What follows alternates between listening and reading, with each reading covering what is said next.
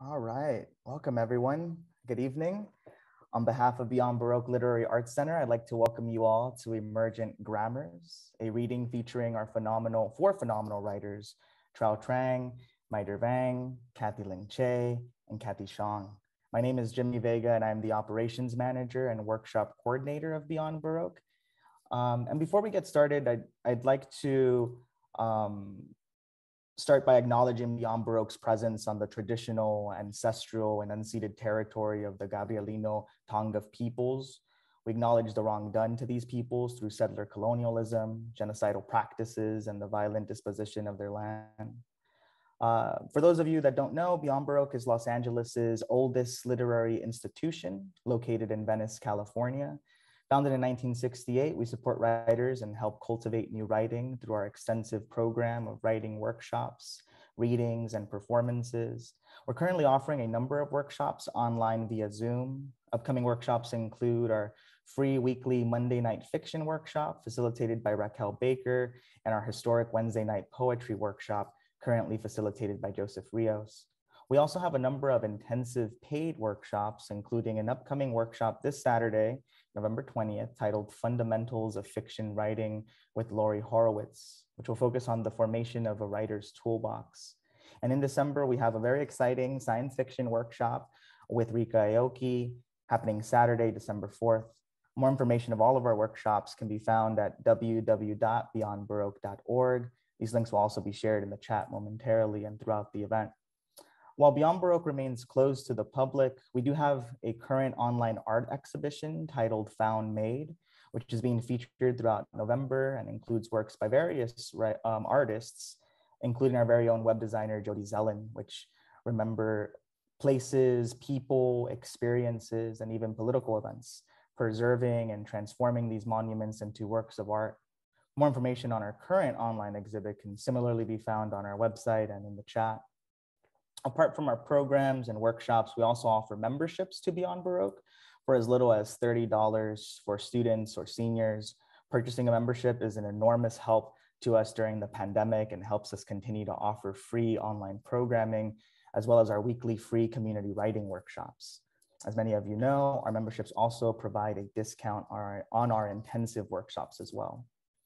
Um, before I introduce the first writer of the evening, I'd like to give a special thanks to Nilanjana Banerjee, managing editor of Kaya Press, along with a warm thank you to Muriel Long, who is the publicity associate of Kaya Press, Press for all their help and support in the coordination of this special reading. A big thank you to Beyond Baroque's executive director, Quentin Ring, along with all of our staff. Uh, another big thank you to Ivan Salinas, our programs and communications fellow, and to Angeline Keck, our programs and publications intern, for all of their work behind the scenes. And finally, thank you to all who are present in shared virtual space. Thank you for your continued support to the literary arts tonight and beyond. Um, after our reading today, we will have a short Q&A um, following uh, our last um, reader. So feel free to drop questions, comments in the chat, and we can definitely field them out throughout the event. Um, our first reader for tonight is Khaty Xiong. Khaty is a Hmong American poet from Fresno, California. She's the author of the full length poetry collection, Poor Anima, Apogee Press 2015, and three chapbooks, Ode to the Far Shore, Platypus Press 2016, Dear Hour, New Michigan Press 2014, and Elegies, University of Montana 2013. She received her Master of Fine Arts from the University of Montana and a Bachelor of Arts from Ohio Northern University. Her work has been featured in Poetry, Gulf Coast, the Orient Journal, Academy of American Poets, Poetry, Society of America, the New York Times, and elsewhere. In 2018, her poem on visiting the Franklin Park Conservatory and Botanical Gardens was highlighted in an immersive poetry installation at the Poetry Foundation Gallery in Chicago a collaboration between the Poetry Foundation and the Smithsonian Asian Pacific American Center, centering on the conversation of grief and loss. In the following year, she was awarded 2019 Best of the Net for her poem, Year of the Cardinal Song 7. Xiong's honors include a 2020 Ruth Lilly and Dorothy Sargent Rosenberg Poetry Fellowship from the Poetry Foundation and the Nadya Aisenberg Fellowship from MacDowell, a Vermont Studio Center Fellowship, and an individual uh, Excellence Award from the Ohio Arts Council. So to kick us off this evening, uh, Khaty, please take us away. Thanks so much. Hi, everyone. Thanks for joining us. It's an honor and a privilege to be here reading alongside the folks you'll be hearing tonight, especially in celebration of Truong Tran's newest collection, Book of the Other, Small in Comparison. I want to thank Kaya Press and Beyond Baroque for hosting and to those here with us today. Tonight, I'll be reading three poems one that honors my late brother, uh, one that honors my friend and their grief, and one that honors my late mother. This first poem is called Year of the Cardinal Song 3, and it's part of a series that I haven't returned to since 2014, which was when I started to deeply write about my grief over my brother's death. I also haven't read it very much, so I wanted to honor the piece and the memories surrounding the first few days and year uh, of what what has evolved to become complicated grief. Year of the Cardinal Song 3. Not since the last year of the cardinal song did it bloom. A kind goodbye and a game of flowers, a switch in the air as we absolved the days from further entry into the house. It could have fooled me, and I wanted to be after learning the bulb had begun softening in the dirt. The way we have handled stories in the past, the way we could have only behaved, or so I am told. Like you, I left it in the pot. Minu, happy is eating, but you are no longer eating. To lose the halves of you, I am the worst of keepers. Fleeting as the rain trellising the red notes of the cardinal Whatever malady is left to rob me, I will be your bloom. Do not help me, and how could you? We are wiser when we can no longer measure darkness inside our bodies, and we lure ourselves onto the flower bed because this is what we do in the world of the living. The nights to bend our hearts until we own that space as we shake from hands that touch us in our sleep so wild and full of sorry, please.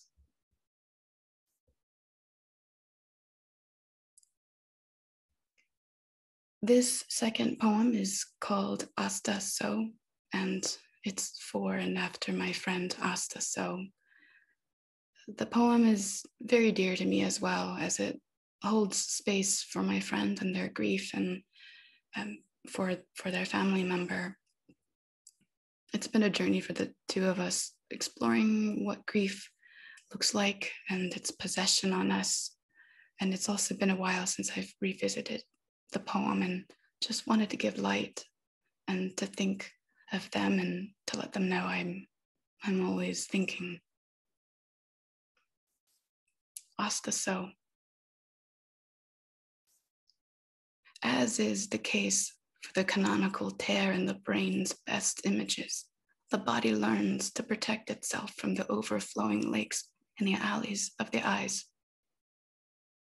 From the growing dread the size of a child, from mother's voice returning like the cut of a tree, mute and parallel to the tall grass collapsing whichever way the wind commands. Do we err when we blink and do we move when it is over? Or does the body stay to mend in place? In the garden of severe punishment, we occupy the chance that a face is retrievable and that names can be saved so long as we remember to plant and pray in the direction of our loved ones. Or so one can believe in this valley of burden. But the amber hills are purposefully bright, marked with mobs of forgiving mule deer migrating back to the lands of their ancestors. Then there's the sun in this crowning scene, where shadows eternally lay by their bodies, anchored to their forms as an act of loyalty. Hard to admire a law that forbids autonomy as well as familiarity of one's muscle perpetually fading into the repeating lessons of love at first sight. Hospitable for the moment and sweet every time. Not a single hair to tell apart departure from meeting that food can grow here in this plot of blurred season, and the finest silk has already spun in three lifetimes.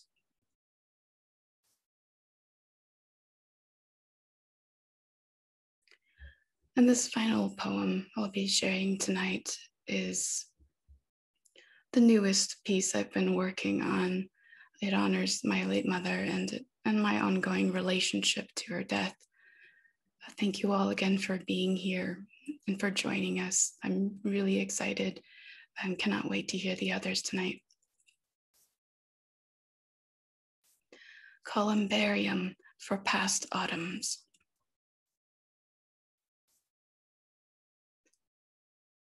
For a time, the home was lost to me, my mouth forged in the night as I dreamed away the barriers, stars lengthening the line of my gaze. Barrel bones rushed to storm. To my eternal right, clouds in immediate rotation, mother mutating past clay and desire. Too light to form, too dead to surrender, like meat made tender by memory, effortless. My head at the helm towards pardon, my hands passing through water, her eye on the wretched edge, seeding air with every intention of life. Such mischief, even from the wilds of death, from the alcoves of full of metal and shadowy glass dust heavy on my crown. What I pretend to gather here still dies past the trees, absent from birth, the promise to lay by dusk, to set ablaze the home. Veritable fire coming west for the lonely shores. In the periphery, I have not returned before, have stayed lost just to retain the impossibility of ends, a march to bury what remains. And no, I don't fall in. I just lean weakly into the weeds. Thank you.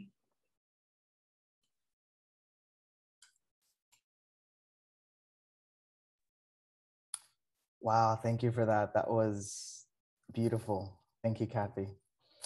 Um, up next, we have Cathy Linh Che, who is the author of Split, Alice James books, winner of the Kundiman Poetry Prize, the Norma Farber First Book Award from the Poetry Society of America, and the Best Poetry Book Award from the Association of Asian American Studies.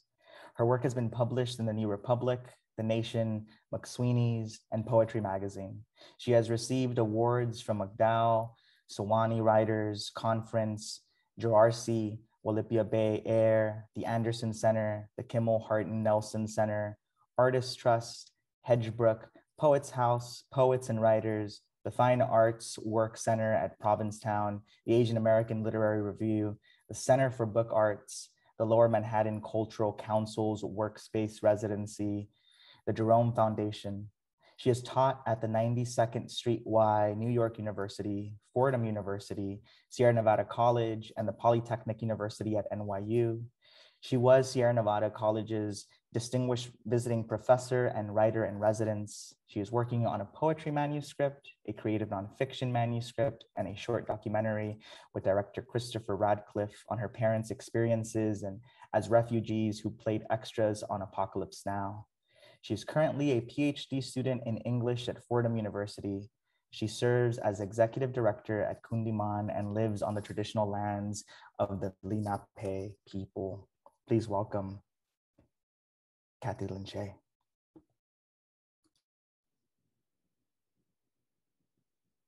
Hi, everybody. Um, it's such a pleasure to be here, and I'm so grateful for um, Muriel and uh, Neela and the wonderful crew at Kaya Press for the invitation, for the wonderful staff at Beyond Baroque, especially um, Yvonne, Jimmy, and Quentin, and to my fellow readers, uh, especially to Truong Tran, um, who was one of the first Vietnamese American poets I'd ever heard read live when I was a very emerging writer myself.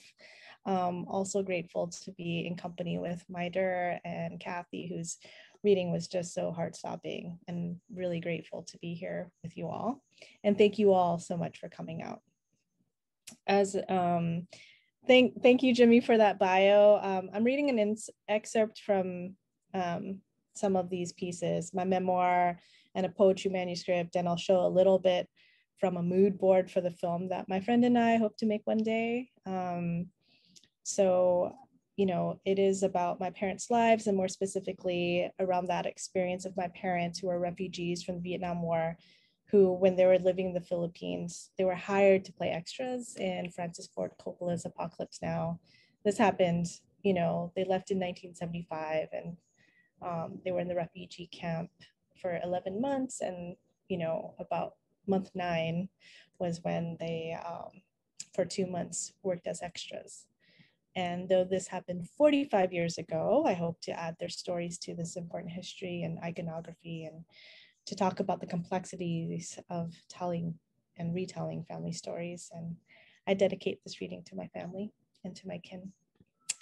Um, thank you all for coming.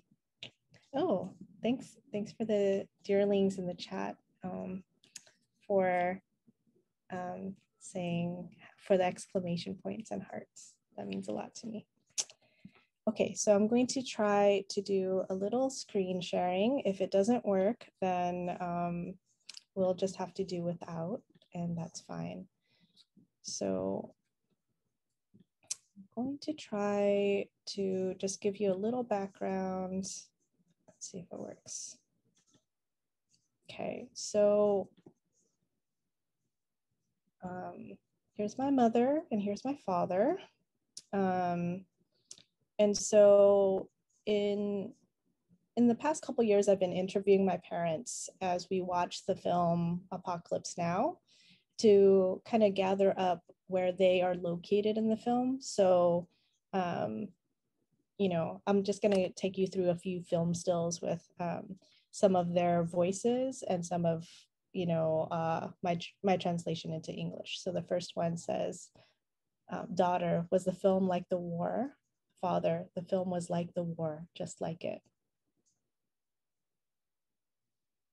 Father, I was in one of those helicopters. I was playing an interpreter. Father, there, there, I was driving that car. Look, it's exploding. It was a Citroen. It was very light. During the filming, Godam was three months pregnant, but nobody knew because her belly was still small. Father, I think it was 80 pesos. Each day we earned 12 or $13 each person. Father, that group next to the lake, that's all of us from the refugee camp. We're handcuffed, playing POWs, captured by the Vietcong. Your mom and dad were in that group. So that final photo you see uh, in the foreground, a very shirtless Robert Duvall, and you know some soldiers also in the foreground.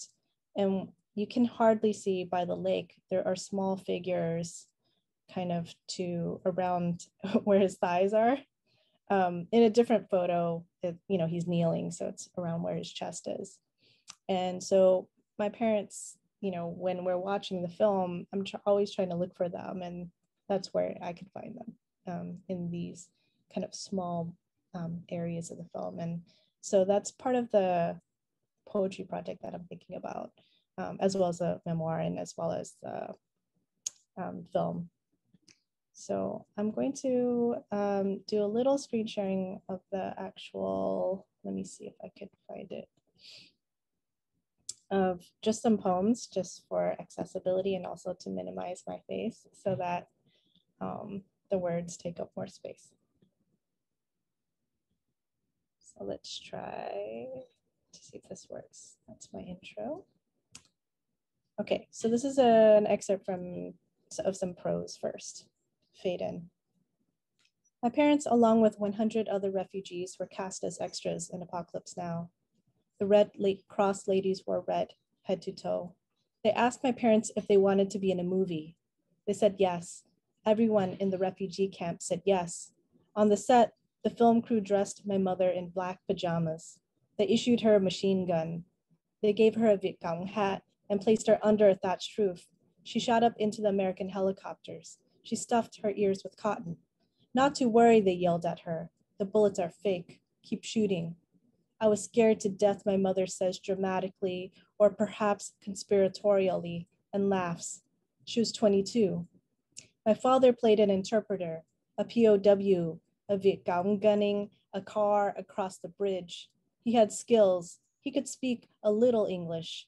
He had firsthand experience as an actual prisoner of war. He was caught not by the enemy, but by the South Vietnamese army when he attempted to go AWOL to retake his high school exit exam. I was so obsessed with building an airplane that I never bothered to study, he'd tell me, bemused. I have a photo of him standing next to a plane he assembled that never took off. So that's a photo of my dad.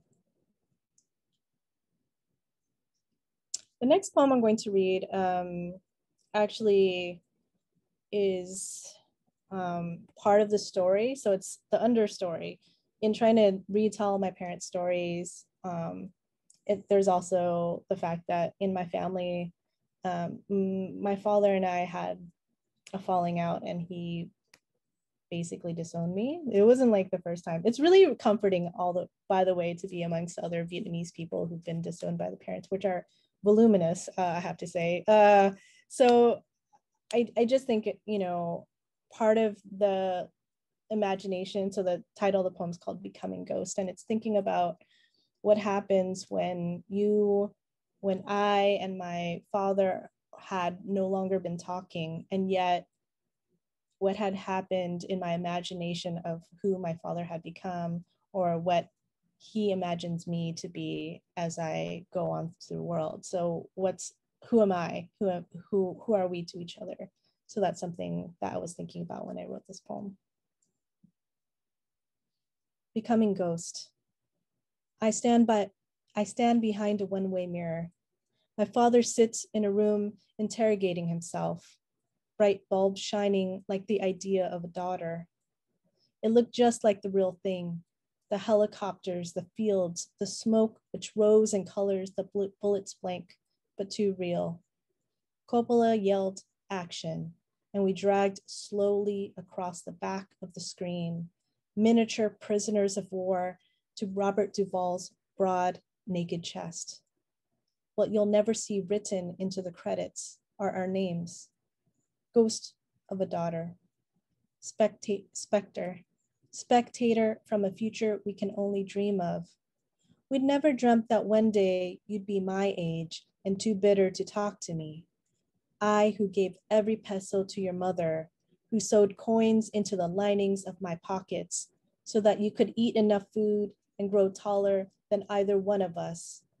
I'm asking you to look me in the face and say, Father.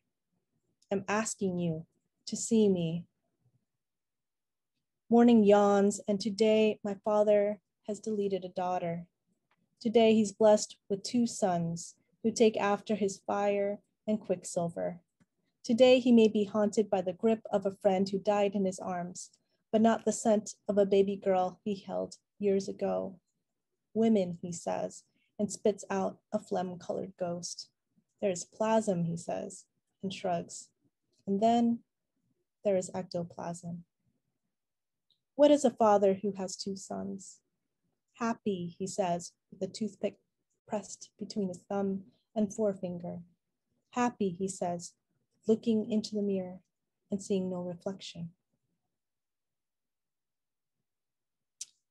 The next poem is based on the same scene. Um, so my parents were hired specifically for the napalm scene um, of the film. And so in trying to reclaim my parents' voices in this, um, I was using the golden shovel form, which is invented by Terrence Hayes. And the golden shovel form is basically, um, so originally comes from um, Terrence Hayes interacting with um, Gwendolyn Brooks's poems and using um, a word from each uh, line at the end of each poem. And this is something that I was, you know, I'd been reading um, the script of Apocalypse Now. There, there are several versions. And so in this version, it's written, and uh, napalm sun, nothing else in the world smells like that. I love the smell of napalm in the morning. And so those are the end words for each um, in the poem. And uh, the attempt is, I think, to, instead of like pay homage, it is to marginalize his words to the side and center my mother's voice. So this comes from an interview with my mother. I love the smell of napalm, a golden shovel. Did I see napalm explode? All the time. Napalm flames their greasy fingers in the air. I wasn't a son drafted into the war, just a daughter to marry off. After Americans arrived, nothing was left of my grandfather's home. What else do you expect when the tanks roll in? Translate the word. Na palm. Oh yes, the bombed world. Today I enter my garden teeming with smells, basil and lemongrass, dragon fruit climbing over the trellis, reptile-like, waxy and succulent, guava that swell under my watch. Once a South Vietnamese soldier I knew him around the village, stumbled into our home. War takes everything we love. He was shot by the Viet Cong. I watched the man bleed out into the sheets. It was the fresh smell of death that got me. Flash forward, scene of myself on a film set. I was the Viet Cong. I was the scenery. Napalm explodes up. I heard boom, boom, boom shaking in my fists. Couldn't sleep last night. Who could sleep through a strafing, the sounds echoing boom, boom, boom from that day into this morning? And here's my final poem. So um, this poem is, uh, I, I was watching a lot of The Walking Dead while also working on this project, and I came to the realization. So those who don't know what The Walking Dead, it's a it's a it's still going on. It's a series about the zombie apocalypse um, and survivors trying to move around to find safety. And while watching that, I I think I something clicked in my mind, a connection that um, my parents escaping an unsafe place for them was a kind of escape. Uh, you know, there was a kind of feeling that there was an analogy there where you're being chased by something um, very unsafe. Um, people who you thought you knew become something else entirely. Um, and so um, I've been using that construction to think speculate a little bit. What would it be like to make a film that is um, my family's version of these events? Um, what, what does it mean to make art about this story? Um, and would it be right you know for what is it even right for me to do so? So it's it's a larger question. Zombie apocalypse now the making of. Cue soundtrack. The undead include my grandmother my older sister my uncle, who was a priest, four cousins, still children. They eat the pomelos we set at the altar, all in a circle, peeling the membranes, dropping the segments into each other's mouths. I am the director. The zombies don't look like zombies, just my grandmother, unable to speak, the flies reanimating, her body's giving up. Just my older sister, a little VC, sacrificed to show the depravity of war. I yell cut, and they ascended to heaven. Makeup, I shout across the set. I ask the artist to bruise the undead. I provide a mood board, sketches composed by my brother, happy to draw again. It's a family production. My father fiddles with the Super 8. He shakes his head at the last reel, too dark. My mother, in costume design, head down at the machine, a measuring tape hanging from the curtain. She is burning incense, pouring holy water into the iron. She stitches the tatters and hand hems the silk. She is careful, but we are running low on time. The light is starting to dim. I call down my uncle, my cousins, their faces at the side of the road, the red tableau. I tell them, here is the script. Act natural. This is just like the story of your lives. Thank you.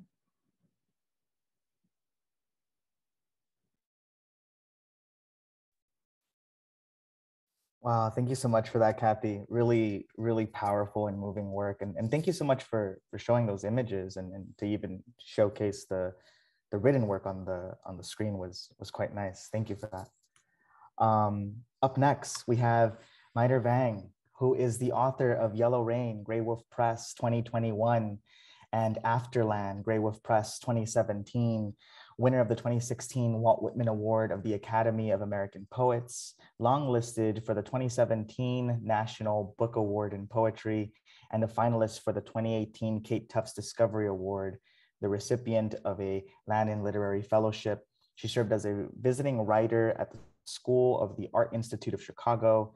She teaches in the MFA program in creative writing at Fresno State. Please give it up for Mai Der Vang.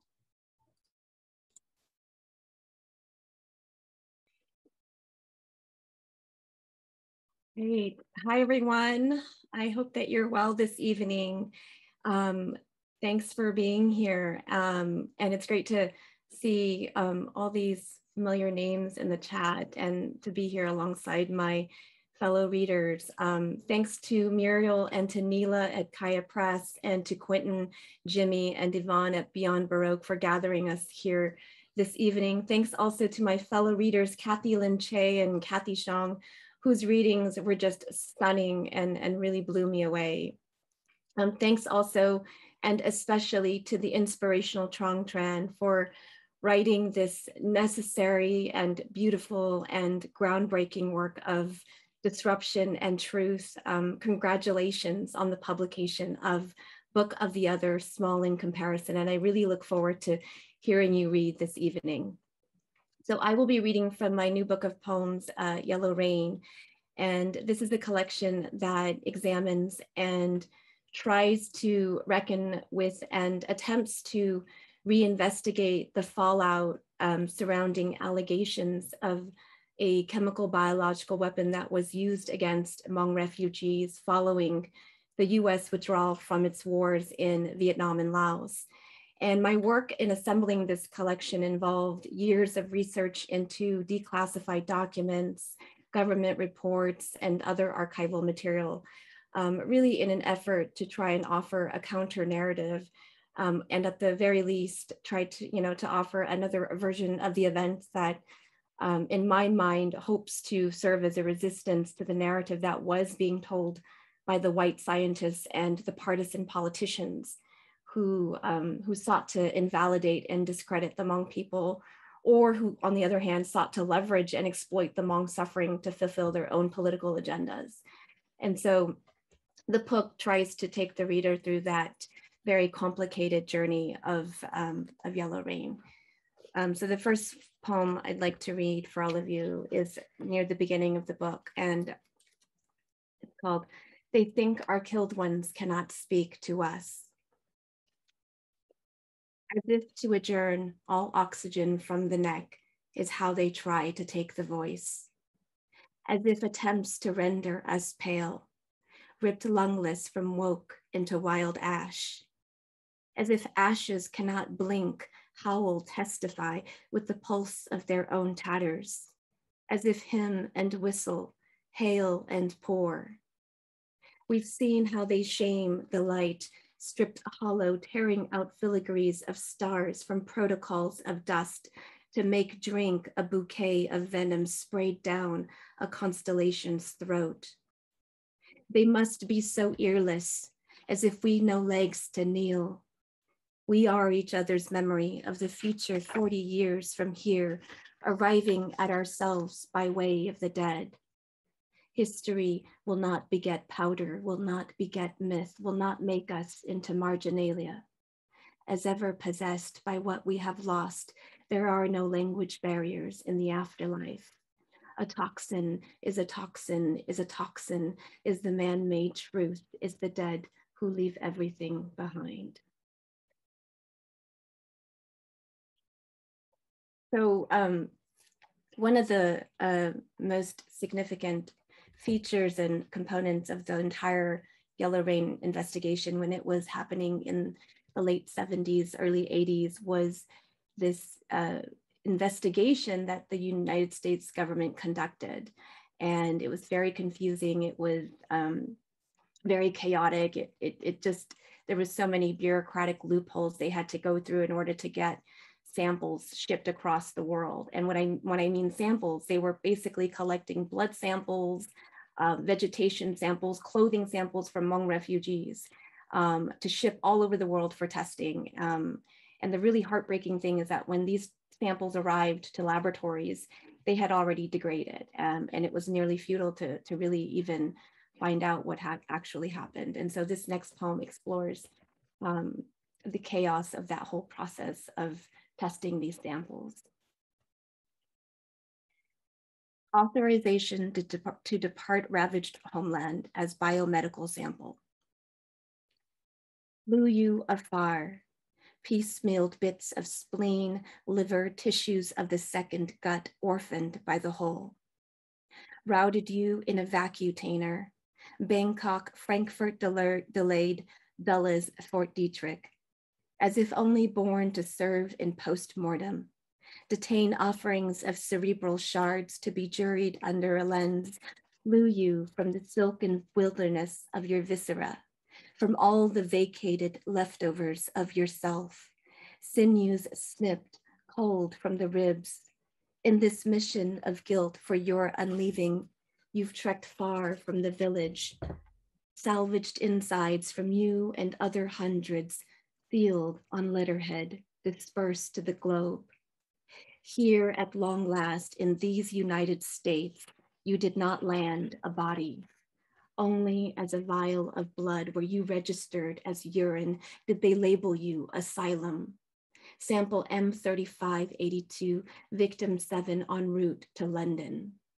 Fluids of you granted fare to enter refugee airspace while ending away in a hospital camp stayed behind the sourced you and every else part. Sample M2582, victim nine, no weekend courier, ambiguously arriving. So stomach of laments, how could they not get you here somehow? Only drops relayed lab to lab to lab. Cargo of you quaking inside an ice chest. So um, I have two more poems I want to share. Um, this next poem is called subterfuge. Maybe you spiked the dirt with your snare of shivers. You watched lemongrass retreat into the parasols, discarded this jungle into the cinema of forgetting. You've been lying again. Maybe you knew the venom had been painted, that it slipped beneath torn umbrellas, smothering all touch as a vapor buffet honestly. A curse as this is a tribunal for the late uncles, the bemoaned first sons. How you must have felt embassy like, diminishing a species of servicemen for an administration of wasps. And the last poem I want to share with all of you is a poem um, that uh, is is, uh, is part of a series that appears at the end of the book and um, well, at least close to the end of the book. And I'm going to only read the, the last part of this four part um, piece. Um, and, and to me, it's sort of my attempt to, um, to, to reckon, or maybe even it's a refusal to reckon with the fact that, um, that Yellow Rain will, will be part of this dark history um, within, within, um, within, within the whole sort of um, history of that war. Um, and um, so this poem is called Manifesto of a Drum, and this is the fourth part in that poem.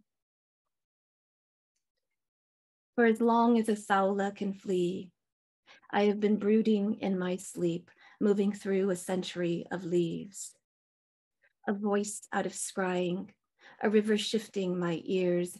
Some early mornings are left for listening to water tones lilting the banks of a primeval lake, but the bank has been lacquered into the stars, mirroring its clotted hand down to mine. What does it take to raise an answer from the grave? Quantify stillness of doubt through unmarked bodies becoming ciphers for loss. I gather sharpness of my burn beyond agony for an answer. It is not to know the shape of what happened, but to know it happened, it happened, it happened. Here I make my light to gaze the trail, then sing this rain threadbare into storm. If love is the sacrament of digging, then here I hold my found into fire. Thank you all so very much.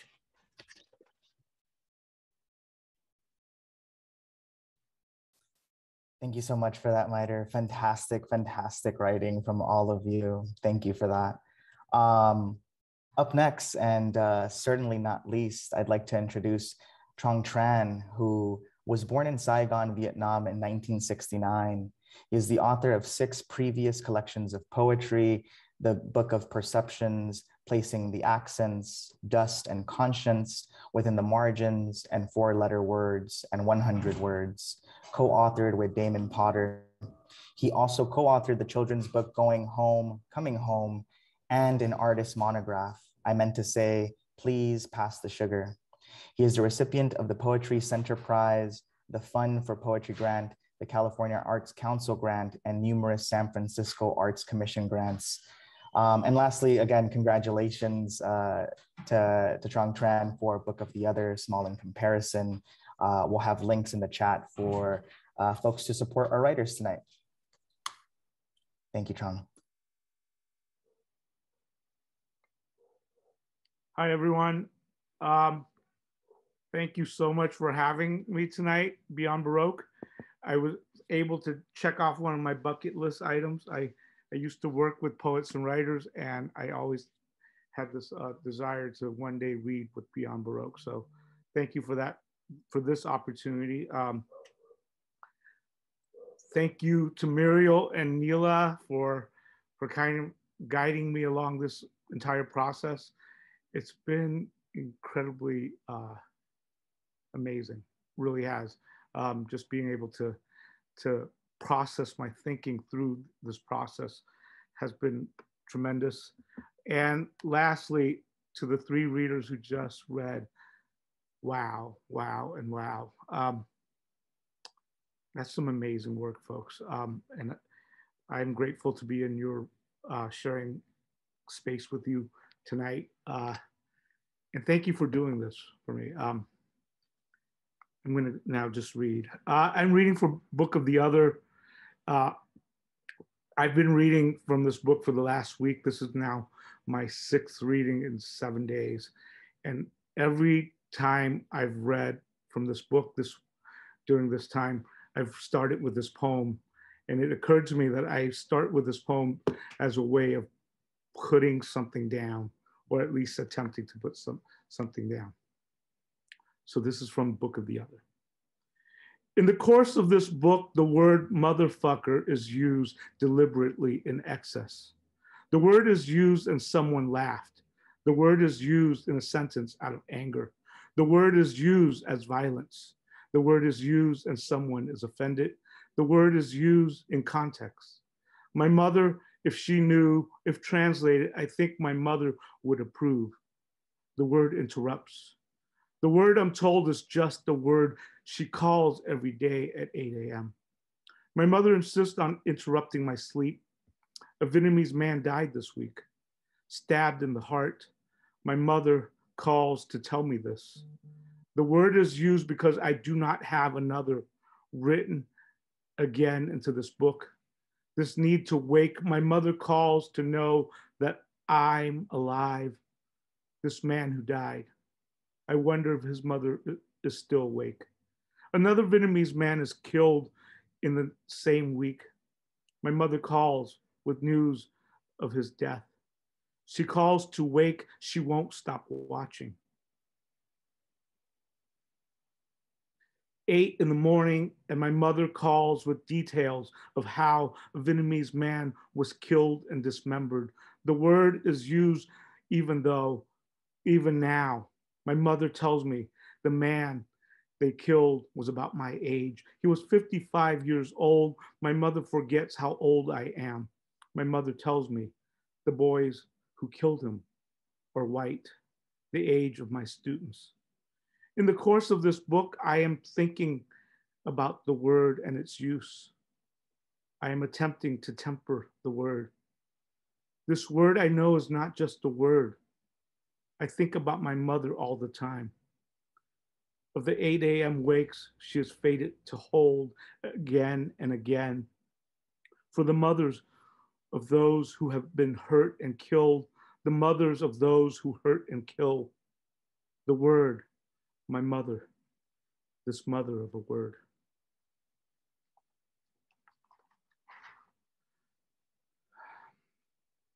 You're on the internet. Your mother calls. You write a posting that was not meant for you. You read a posting that is not meant for you. Another man is shot and killed. You click the image. You see it happening. Your anger, this asking. Hi, Facebook friends. Does anybody know any good writing about anger and outrage? Already got Spinoza and Kendrick Lamar. I'm mad, but I ain't stressed. Thanks, you crazy lovable motherfuckers. The memory of your friend, that time over dinner with your students when she whispered, those motherfuckers. Motherfucker, this word, when said in just the right intonation by just the right person in a home over dinner, said with all seriousness and intent, said in support, received. This word of utmost care, comfort to the person who needs it. I see you, it says. I'm with you. A communion, the same word when written in a post, a carefree gesture, consciously careless. That a person was shot and killed again, that an unarmed Black man running the other way is seen as dangerous because, becomes endangered, endangered. That I read his words, I saw the recording, I hear her voice, those motherfuckers. This cannot be written as question, as joke, as poem. This is a marking, a memory, an anger to the asking, an answer.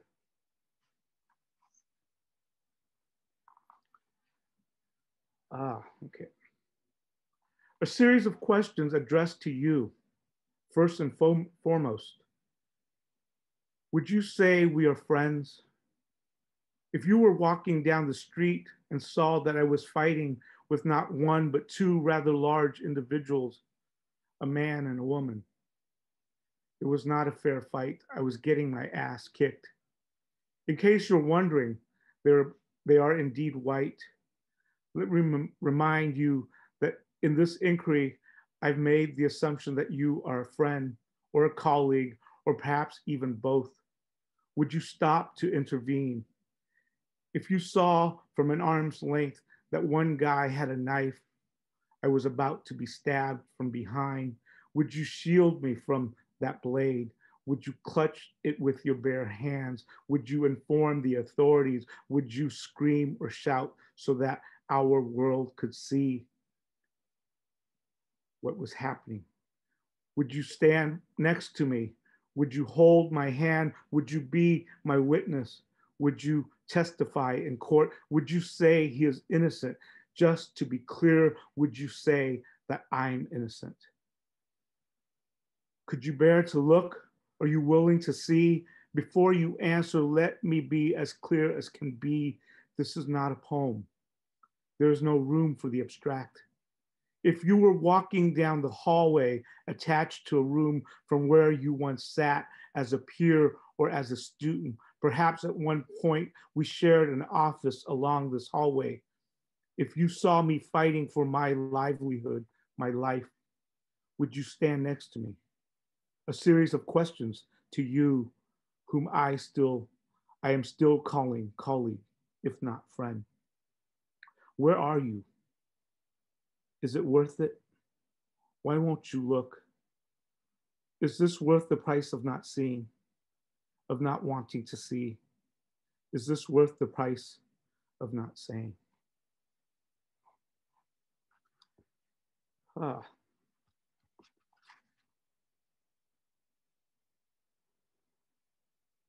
You resist the performance of otherness when writing this book.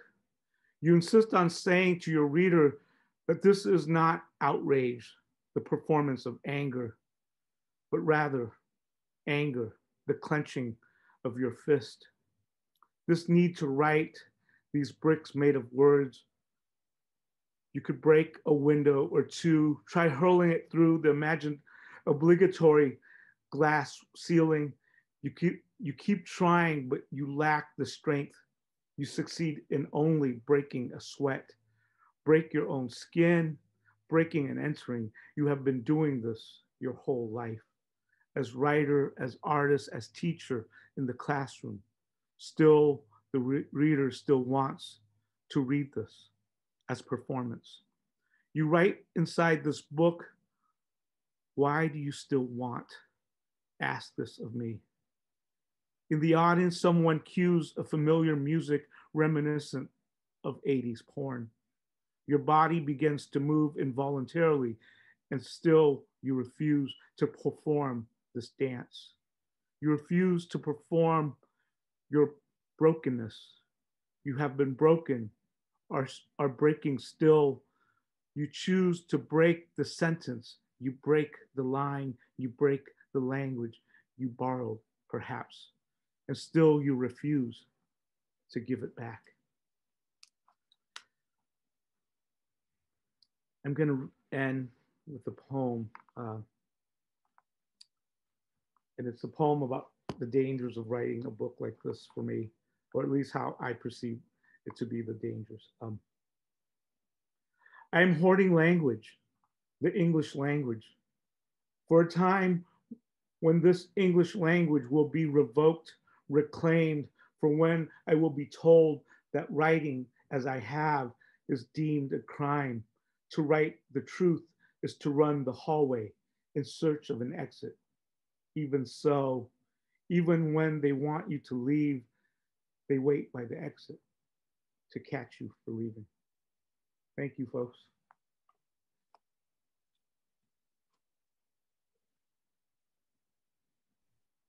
Oh my God, Truong Tran, thank you so much for that. Please, everyone, give it up, give it up for uh, for Truong Tran and Mai Der Vang and Khaty Xiong and Kathy Lish, uh, Lish, uh, Um, if we can actually have all the um, the writers for tonight, maybe um, show their video. There we all are. Uh, thank you so much for that. That was amazing, amazing. Thank you, thank you.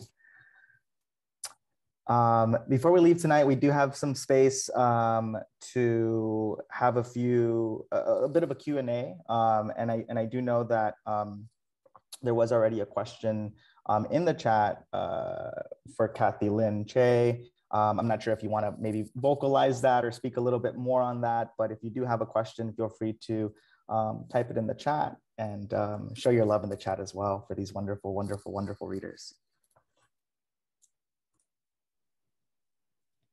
Thank you. I mean, uh, I'll answer the question real quick. The, the question was just about, is my, uh, um, is the prose, this is a, I mean, this is a larger question, I guess. Um, is the prose titled Fade In the same as a poem that is floating around the internet um, in the Brooklyn Rail called Fade In? And I use titles over and over again in some part because titles are very difficult for me. So um, when I have one, I'll just reuse it. But I also really love the imprint of exploring or, or moving through different um, iterations of the same sort of exploring the concept over and over and over again. So that does appeal to me. And I, I, you know, I also like working in different genres because I think they offer different possibilities. So, um, you know, I know everybody here is working in many different modes. Um, so, you know, working with visuals unlocks something that is different for me than working in poetry in particular, because the specific form can unlock something new. Um, working in prose, sometimes that means I can maybe fill in the gaps that poetry uh, might offer, you know, in a useful way. Um, but yeah, that's that was um, my answer to that. I I have questions for folks because Truong, oh my god, that poem was so those poems are so fire, like fire. And you said, oh, when you read the last piece, you said, I'm gonna read a poem. So do you are were the other two pieces also poems or were they of a different genre? I say po- poem out of habit, to be honest, because mm-hmm. um, I trained as a poet, mm-hmm. and so it's kind of in my in my blood. But I I'm not entirely trusting of poetry at this stage in my life. Um, I, I call the work anti poems um, because for much of this book I was trying to avoid or resist the idea of a metaphor. Mm. Although I also have said that I'm addicted to metaphors.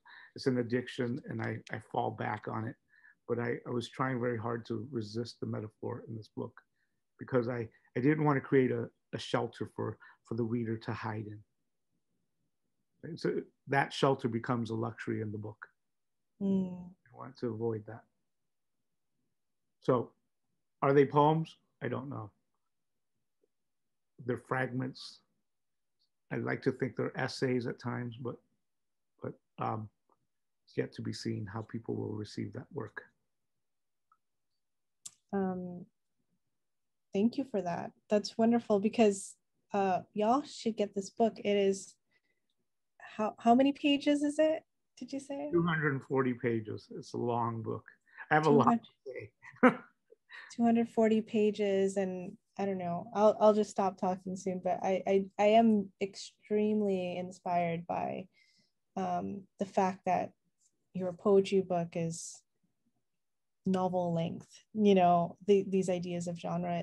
It's very liberating to me. And Mai Der's book is also 150 pages of poetry, or no, 220 pages of poetry with notes, and that also feels very liberating. And I was just thinking you know, another liberation that I was, and I'll stop, I swear. But Kathy was talking before about during this time of the pandemic, just, you know, unplugging from social media altogether. And there was something so um, utterly tender about um, your work, Kathy, and it feel it felt like a, you know, deeply engaged personally in in a way of um, coming it that work seems born of a uh, a place of contemplation that really feels also i know it's a lot of grief but liberatory. So thank you so much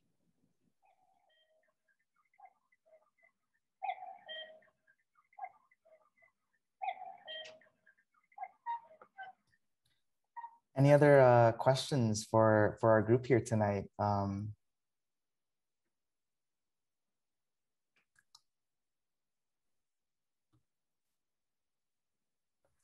um, so there's a there's a question from Muriel in the chat. Um, since you've all read poems about deep grief and rage, what do you think is the relationship between those two emotional uh, valences? Thanks for that, Muriel.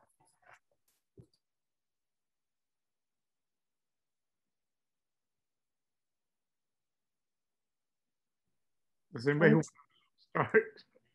I was like, Truong, did you want to go? I, I see you're unmuted. Um, well, it's just I'm bad with technology. My apologies for that. Um, I guess I will. Uh, I'll start then. Um, I'm trying to write into the consideration of rage as a craft, um, and I'm trying to do that because, you know, if if white poetics could write in a way that feels exclusionary, whether it be through the the consideration of experimental forms or or language poetry, then we as we as writers of color kind of live with this consideration of rage often. And so wanting to write and, and hold that rage as a practice of craft is something that I've been trying very hard to, to facilitate for myself. Um, that's all. I don't want it to, to seem out of control because it's not, it's a craft to me. It's something that I'm, I'm trying very hard to hone. I love that idea of rage as craft because I absolutely agree. You know, I think that I think that sometimes we don't allow ourselves to experience that anger or to express it even and and um and I think for me um with Yellow Rain I was I felt I felt really angry when I wrote a lot of those poems. And I just it didn't it to me it was like it had to be felt. You know i it, it, was it was i i just had gotten to a point where i was fed up of just trying to sort of you know have closure with it. You know sometimes closure can be um, such a western concept of how to how to get over something. And for me it was just it was okay to to, to, to stand in the moment of the rage um, so that that could be you know experienced and and um, you know find its way into those poems. So yeah I, I i think we have to allow ourselves to be to be angry to to sort of stand up and to um and to speak what needs to be said. And i think Truong, you're you know you've just been and this new work that you're that you've offered us this gift of this book is an extraordinary example of that courage um, to be able to, to think of craft as rage. Um, so thank you for that. Thank you. Something, um, Mai Der, that you mentioned um, in thinking and talking about closure and needing to feel the poems. Um, it, I've been writing grief poems for a very long time, and seemingly, I. It's curious because it is writing is such a performative gesture um, speaking and reading it out loud and, and also in remembering memory is also performative and informative um, closure is something that i i don't think i've ever really understood uh, the concept um, besides shutting up the the emotions or the pains associated. So for me personally speaking anyway uh, in my in my writing journey and, and trying to explore my complicated grief and not being able to actually give space to to the ones who have passed um, my brother died and then and then my uncle and then my mom and um and, and making space for them has been very tricky. Um, and I'm, I'm just trying to think that most people for some uh, grief poems have been around forever and yet it feels like a, a conversation few want to enter because how vulnerable it makes you and and how vulnerable it makes readers. Um, i'm trying to get to a, a point here in that i guess i write my grief poems and because it's a challenge for me to confront it in my own personal life, but to try to see it on the page. What does it look like, and how how can how can I keep? I, have to live with it for the rest of my life. So how then will it look every time I come to the page? And I, I want to honor that because my parents and growing up in a refugee household, um, grief was the very first thing I learned and and embraced. So just wanted to honor and hold everyone tonight and just thinking about Cathy's poems and images and my dirt. Um, that collection, my heart is not ready. my heart is not ready. Um, and Truong, it's just, it's been amazing. Thank you. Yeah, thank you for that, Kathy. I was just thinking about this idea of, you know, in the chat, people are talking about eloquent rage, and there is some, you know, I think, you know, I, I wrote a line to myself in my diaristic writing about this idea of rage feeling like an in, inelegant emotion. Um, but I don't know what that means, you know, and so part of me wonders about, you know, grief is something I know how to access, but rage is something I certainly have access to, but it does feel um, often when we think about it, it's um, both grief and rage, I think, are uh, unacceptable, unacceptable socially. There are sort of unspoken, you know, it, there there's spaces where people get really uncomfortable if you bring up your rage, if you bring up your grief. There's um, something about that that I am attuned to, but I'm also attuned to how how free I felt hearing all of your work. So I think that's something that I'm thinking about as well. If I could also add the, weight that we put on the consideration of grief and weight and and rage then makes makes the the expression of grief and rage. And and and quite honestly the expression of truth becomes this this act of exceptionalism and bravery. And i think of that too as, like what does it mean to be brave? But imagine a, a world if we didn't have to think about that as brave.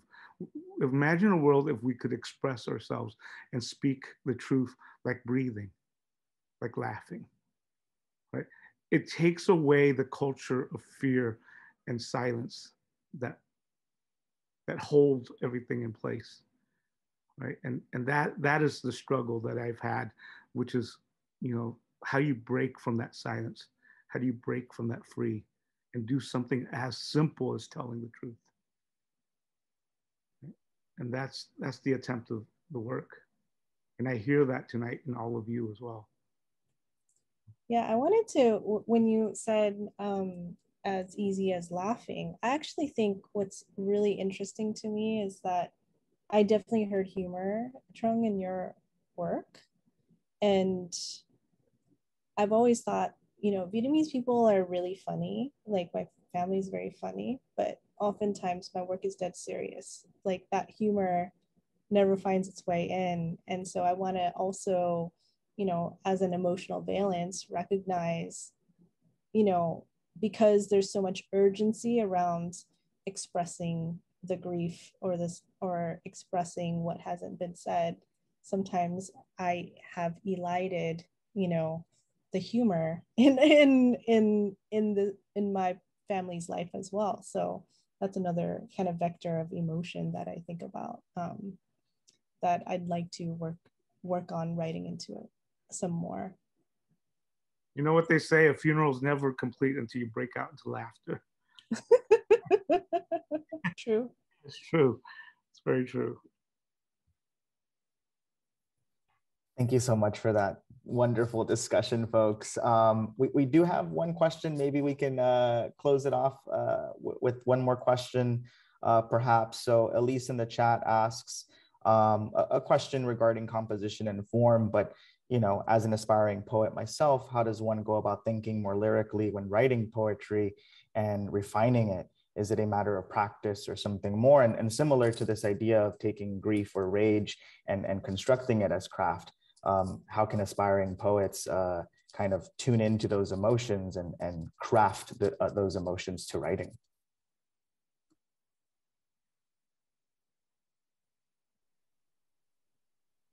I have thoughts, but does that, somebody else want to go? I do too, but I, I like you, Kathy, I want to sit back on this one first. Yeah.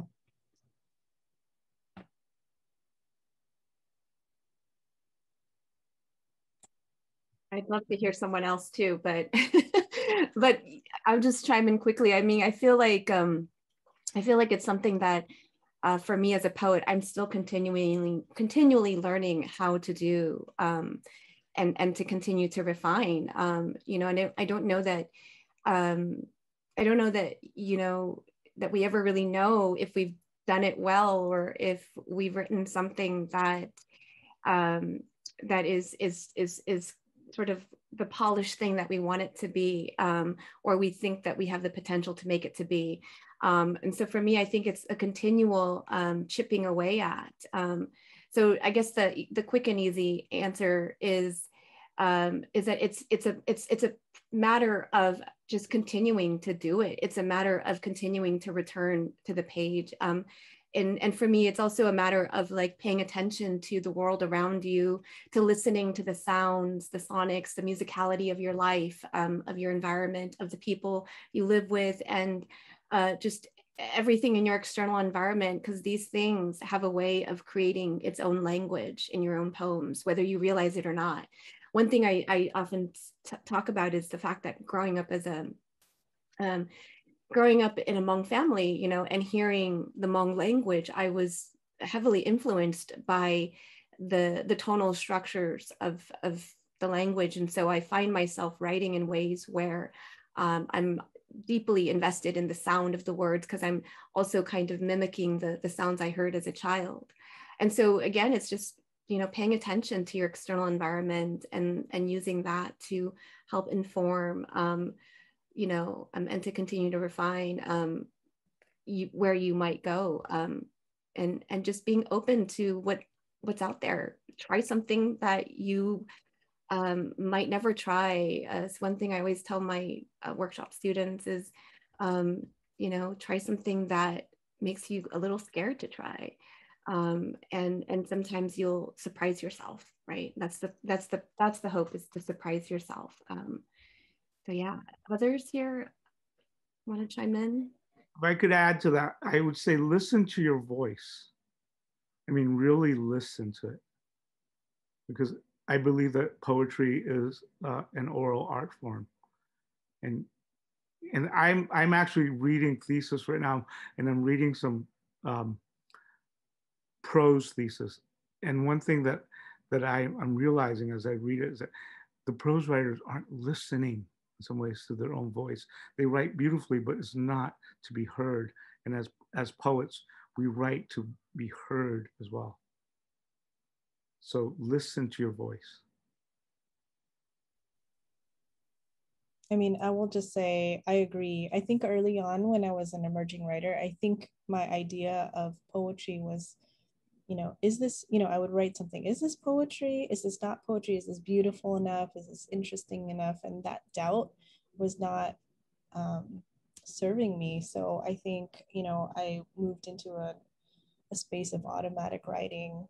And what that is, is actually just listening to your voice and slowly transcribing it and see what emerges from there. Um, I think that practice um, gave me a lot of sense of trust in my own um, writing uh, that you know what what will come you have to have faith that your voice is valuable so i think and not valuable in the mind of somebody else making judgments on it but sort of you have to also trust um, when you read it does it you know in an easy way not in an overly critical way but does this do something for me? Does this satisfy me? So i think that's where i come from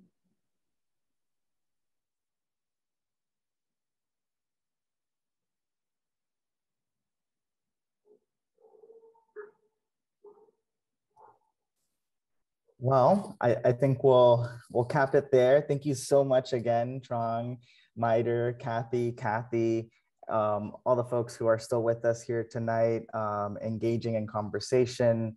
Um, again, a big thank you to Muriel and Neela over at Kaya Press for allowing us to, to share virtual space. Uh, this was fantastic. Um, and yeah, hope everyone has a good night. Thank you so much for being here. Thank you. Have a good night, everyone.